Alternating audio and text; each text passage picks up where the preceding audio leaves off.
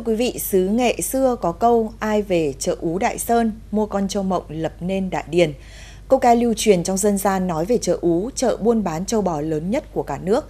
Tại đây không chỉ có châu bò trong nước mà châu bò từ Lào, Thái Lan, Myanmar cũng được đưa về đây trao đổi mua bán. Từ ngôi chợ này, nhiều nghề mới đã được hình thành như nghề dắt châu bò thuê, nghề vỗ béo cho châu bò. Chợ Ú họp từ khi còn tờ mờ sáng. Trước khi vào chợ, số châu bò này đều được kiểm dịch. Người dân ngoài việc mua bán còn trao đổi thêm về kinh nghiệm chọn giống, cách chăn nuôi. Một cái là trâu trẻ, hai là sấy đồ phải đủ đẹp, nhặt trâu. Còn uh, trâu mà trâu mua nuôi để rồi mà đổ thịt thì lại mua cái con trâu phung. Chợ này là chợ lớn nhất vùng đông nước Việt Nam này. Thương lại khắp nơi về đây để mà mua bán ngoài miền tổ quốc từ nơi đây đi khắp ra nước ngoài hoặc là từ nước ngoài về đấy. Đấy mua bán rất thuận tiện. Mê nuôi mê thịt đủ các kiểu. À, chỗ nào cũng làm được bán nhanh. Lượng mua bán lớn. Mỗi tháng, chợ Ú ở xã Đại Sơn, huyện Đô Lương họp 6 phiên. Bình quân mỗi phiên chợ có tới hàng ngàn con trâu bò được giao dịch. Năm nay, do tác động của dịch Covid-19 nên nguồn hàng trâu bò của phiên chợ cũng ít hơn mọi năm. Các thương lái đến từ ngoại tỉnh cũng giảm đáng kể đã tác động không nhỏ tới việc giao thương tại đây. Vận động bà con và các cái thương lái tham gia tại thị trường thực hiện tốt cái công tác phòng chống dịch Covid-19 theo chủ trương chung. Mà từ cái chỗ đó thì à, các cái à, thương lái cũng như bà con ở đây cũng chấp hành rất tốt. Chính quyền địa phương cũng đã thực hiện một số cái biện pháp nghiêm mạnh để răn đe và uh, tuyên truyền răn đe các cái thương lái tham gia không nghiêm tại cái thị trường chợ để đảm bảo cái môi trường lành mạnh cũng như là an toàn trong quá trình tham gia buôn bán. Với những nét văn hóa đặc trưng riêng, chợ Ú vẫn ngày càng phát triển, thu hút nhiều thương lái về đây giao thương, buôn bán, từ đó tạo ra công ăn việc làm, nâng cao thu nhập cho người dân, góp phần thúc đẩy phát triển kinh tế xã hội của địa phương. Thưa quý vị, mới đây tại Hà Tĩnh, bệnh viêm da nổi cục ở châu bò xuất hiện và có dấu hiệu lan rộng. Do chưa có thuốc đặc trị nên công tác tiêm phòng được xem là biện pháp then chốt để bao vây dập dịch. Những con bò này bị nhiễm bệnh viêm da nổi cục vào đầu tháng 2 vừa qua. Dù người dân đã tiến hành điều trị bằng nhiều cách, nhưng những con trâu bò vẫn bị chết ngay sau đó. Địa bàn xã đấy thì từ ngày mùng 4 tháng 1 là bắt đầu xuất hiện cái bệnh này.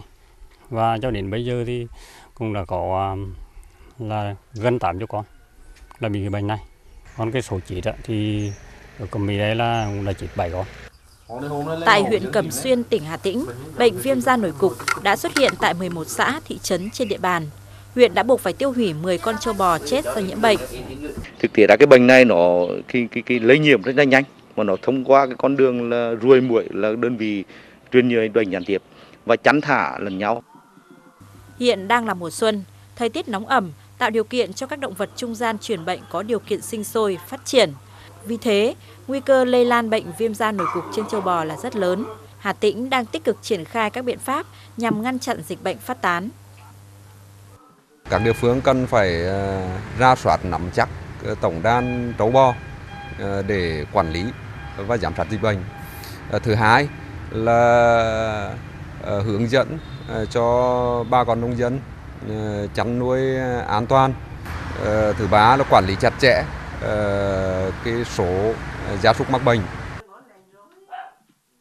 Ngành chuyên môn khuyến cáo người dân cần vệ sinh tiêu độc khử trùng môi trường chăn nuôi, diệt vật trung gian truyền bệnh trên quy mô lớn, cách ly tốt đàn châu bò bị nhiễm bệnh để bảo vệ đàn châu bò của mình.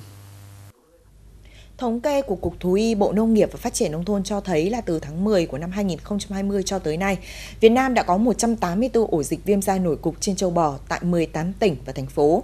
Số lượng gia súc mắc bệnh là gần 2.300 con, trong đó 267 con đã bị chết và tiêu hủy. Trước tình hình này, Bộ Nông nghiệp và Phát triển Nông thôn đã nhập khẩu vaccine viêm da nổi cục để tiêm thí, thí điểm cho gia súc tại 8 tỉnh và thành phố. Đồng thời đang khẩn trương nghiên cứu sản xuất vaccine này tại Việt Nam để nhanh chóng khống chế dịch bệnh có tốc độ lây lan nhanh này. Theo Cục Thú y, hiện nay Bộ Nông nghiệp và Phát triển Nông thôn đã nhập khẩu 50.000 liều vaccine của Thổ Nhĩ Kỳ, Ai Cập và Jordan để tiêm thí điểm tại 8 thành phố có gia súc mắc bệnh viêm da nổi cục.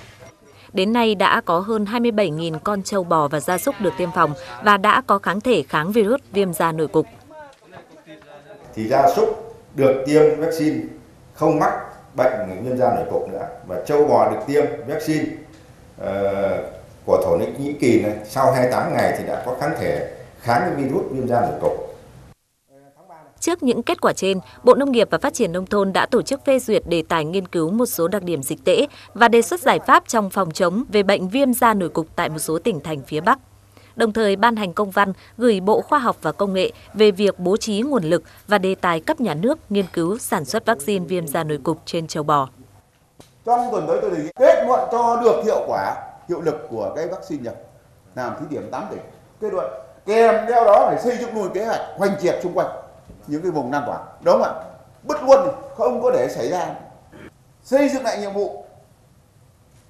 Vừa là nghiên cứu một nữa là xây dựng cơ chế để sản xuất vaccine. Đúng không ạ? Ít nhất ông chọn ba bốn cái đơn vị doanh nghiệp rất là mạnh truyền thống sản xuất vaccine. Làm luôn cái này. Tuy nhiên, khó khăn lớn nhất hiện nay trong công tác phòng chống bệnh viêm da nổi cục trên châu bò đó là khi thực hiện tiêm phòng thí điểm thì số lượng vaccine ít nên không thể triển khai được trên địa bàn rộng. Tương đương với số lượng châu bò được tiêm phòng quá thấp so với tổng đàn tại các địa bàn có nguy cơ cao. Do đó, dịch bệnh có nguy cơ tiếp tục phát sinh và lây lan. Thưa quý vị, ờ, tin chúng tôi vừa cập nhật bản tin 18 giờ ngày hôm nay Việt Nam ghi nhận thêm 6 ca nhiễm COVID-19 mới ở Kiên Giang, Bình Dương và Tây Ninh. Tất cả các ca đều là nhập cảnh và được đi cách ly ngay.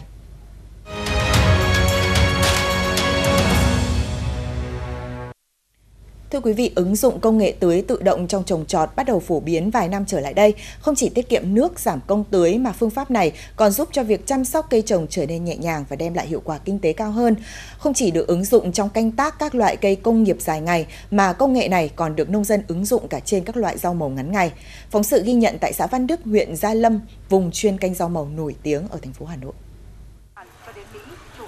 Thay vì sách từng thùng, tưới nước cho từng gốc su hào, một năm trở lại đây, gia đình chị Luyến chỉ cần mở van rồi quan sát như thế này. Chị cho biết áp dụng công nghệ tưới phun mưa, gia đình chị tiết kiệm được tới hàng chục công lao động mỗi vụ. Thường thì là một lứa rau hào là 45 ngày. Khi mà lúc trồng thì ngày nào cũng phải tưới khoảng một ờ, một tuần. Sau đó thì mỗi một tuần thì tưới khoảng hai lần. Như vậy thì sẽ ờ, mỗi một ờ, lần tưới với cái diện tích là ba xào như vậy thì sẽ phải mất ừ, bằng một công. Vâng. Thế như vậy thì sẽ có thể là sẽ giảm được 15 công so với là khi mà mình không dùng cái vòi phun tưới này.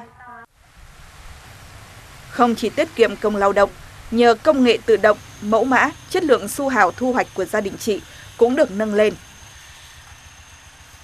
Tưới bằng rãnh thì mình khi mình đã phải mất công múc tưới vào gốc và nó sẽ bắn lên cái củ su hào thì nó sẽ bị mất mã.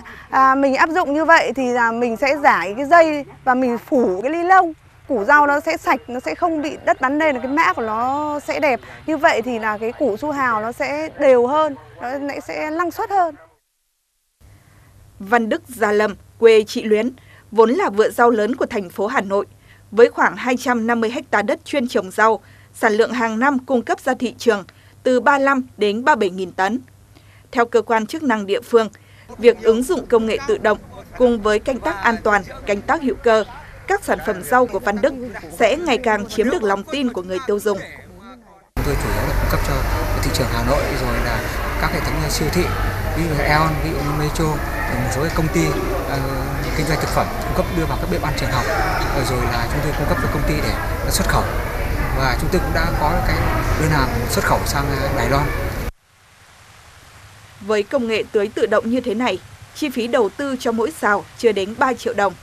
Theo chị Luyến, chỉ sau từ 1 đến 2 vụ thu hoạch, người nông dân có thể thu hồi vốn đầu tư.